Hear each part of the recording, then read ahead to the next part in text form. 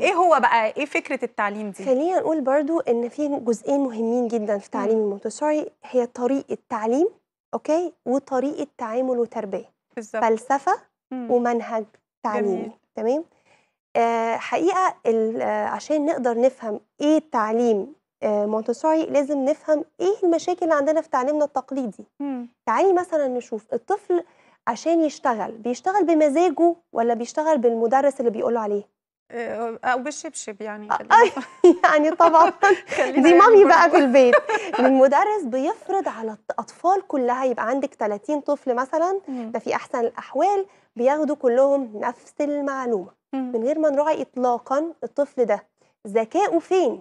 ذكائه سمعي ذكائه بصري بيحب الرياضيات لا له في اللغة آه هيطلع شاعر بيحب ال- الحاجات الميكانيكية يشتغل بإيده مفيش عندنا التفرقة دي خالص في النظام التقليدي. مم. تعالي نشوف مثلا في التقييم.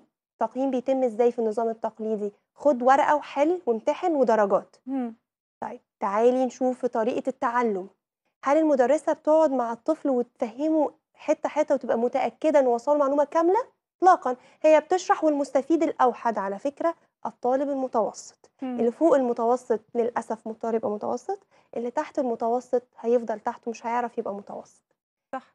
دي مشاكلنا في تعليم التقليدي العكس تماما بقى في طريقة مونتسوري أول حاجة في طريقة مونتسوري الطفل بيتعلم على حسب اختياره طريقة مونتسوري فيها حسب اختياره يعني إيه حسب اختياره عندنا 5 modules okay أو خمس, خمس. أركان مم. okay كل ركن بيختص بتعليم جزء معين له علاقة بمهارة موجودة جوه الطفل أو احتياج داخل الطفل مم.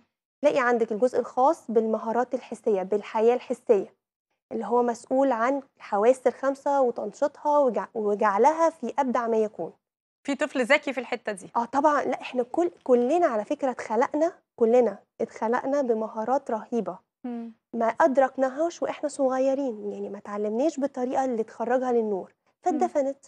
وصعب جدا أرجع مم. طفل بقى ما دون سن الخامسة مم. يعني من خم من 0 تو 5 ده مم. هو ده السن الأساسي التعلم حتى ماريا مونتسوري قالت عليه هو أهم من المرحلة الجامعية. أنا يعني- عارفة المعلومة دي لأن حتى في أوروبا أو في أمريكا الناس اللي بت... مدرسين الحضانة اللي هو الفترة دي بيبقوا لازم يبقى معاهم شهادات معينة ودراسات معينة. ولازم يبقوا كفء وبيبقى معروف إن اللي بتدرس حضانة دي أكيد أكفأ بكتير من مدرسة ثانوي. بالظبط. مم. أكفأ نفسيا في التعامل مع الأطفال لأن هي جواهم جواهر لازم حد يعرف جواهرجي كده شاطر يلاقي الجوهرة ويخرجها للنور.